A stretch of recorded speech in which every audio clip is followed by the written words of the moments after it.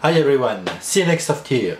This is MINIX Neo U1 uh, Android Media Hub interface.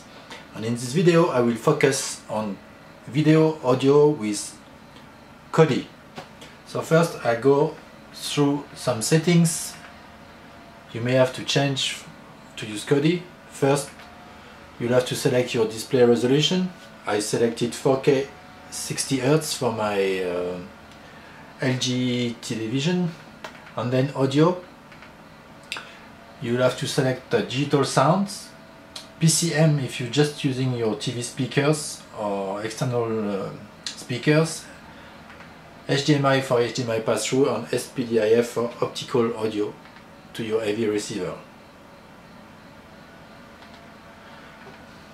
In the playback settings here you have HDMI self-adaptation.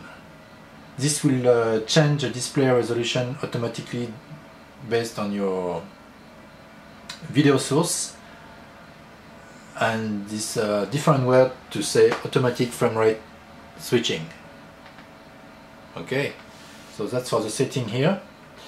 And now we can start Kodi they have two Kodi installed actually they have one Kodi installed in the firmware. This is Kodi 16 alpha. But they recommend to install their own version of XBMC Kodi that they called 15.3 so this is the one I will use here. So if we go in system info we can see this is XBMC 15.3 compiled December 8 just about four days ago and the video output is 4K at 60 Hz so I'm going to change uh, video the ah, yeah, first in playback you want to adjust the refresh rate to on and start the on start stop to have the most smooth video. And after you go to system audio output and if you want to enable heavy pass-through with your receiver no. Uh, you enable pass-through AC3 EAC3 DTS and True HD there also there is also a DTS HD option but do not use it right now because it's not implemented yet and it will not work. Okay so let's play videos right now I will focus on the 4K videos samples first and after I'll switch to some audio samples. This one is H.265 at 60 Hz.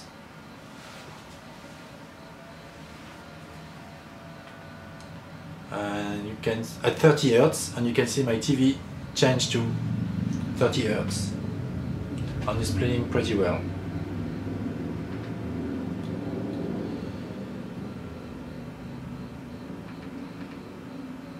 Okay, now H.264 at 30 frames per second. Let's double check the video output. 30 Hz on the top right corner.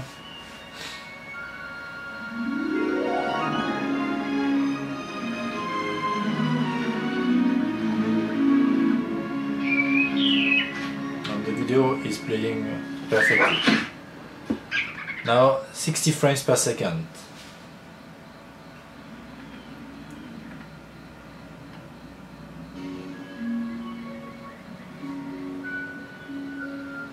It looks okay, but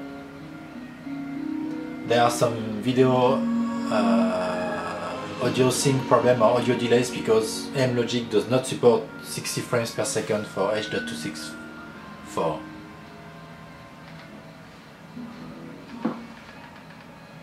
Okay, the next one is a H.265 video uh, compliant with REC 2020 uh, standard. And the video is 60 Hz, I mean the video output is 60 Hz and the video itself is 5994. And it's playing very well. Amlogic S905 is the only platform that can play this.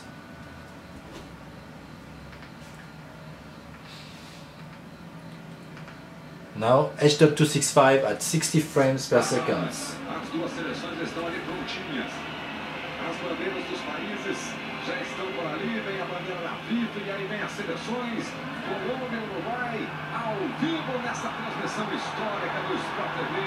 Na transmissão 4K Ultra HD.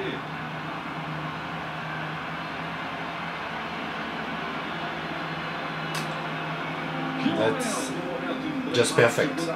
No complaint. It's playing perfectly well. I have to skip that one.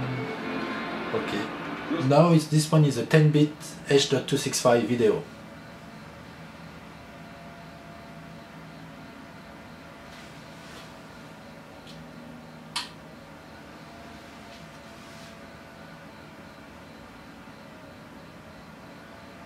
And again it's playing very well. There is no audio because there is no audio in the original file.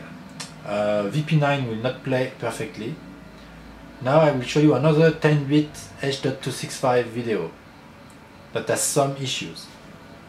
I'm playing from a Samba share, but if I play from USB, I will have the same issue. You see at the top I'm not sure if you can see actually, but at the top you can see buffering 86% and it will stuck there forever. From network or from USB, it's the same problem. So it's working pretty well for videos, but are still some issues. For example, this one is a DVB uh, S2 4K stream.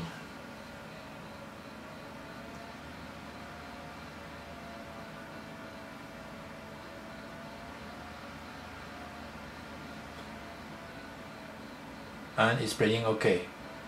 But this morning I had some issues, I don't know why. This morning it would play zoomed in.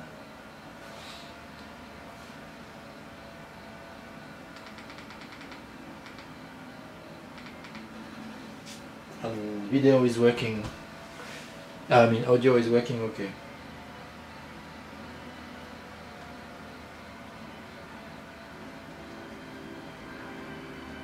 Just the volume is a little bit low.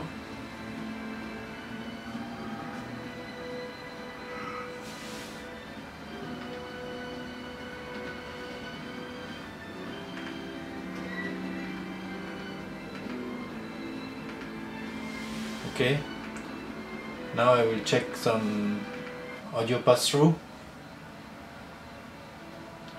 5.5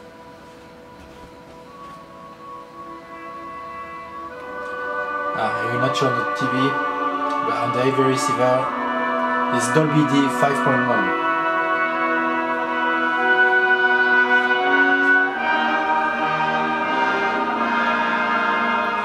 I have to adjust volume lower. Okay, uh, now I go to True HD 7.1.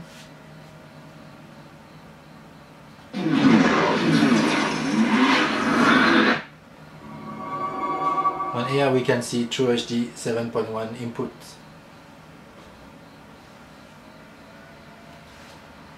Uh, 5.1 is working as well.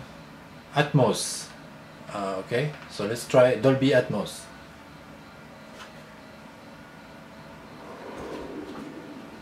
There is audio and it shows Dolby True HD 7.1 B so I don't know if that means that's okay but at least it's 7.1 channels.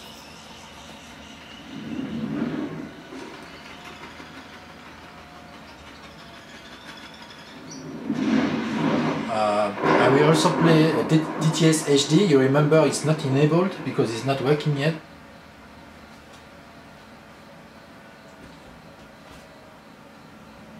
But there will be some audio as the signal is passed DTS 5.1 instead.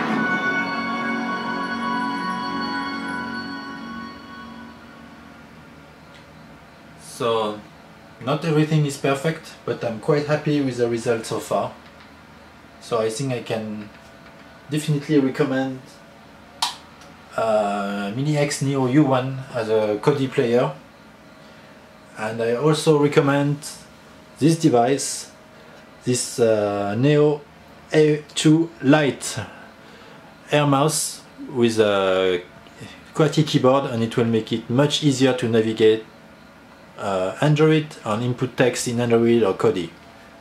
It's only $20 more for this one and I really recommend it, this is very good. Alright, thank you for watching, bye bye.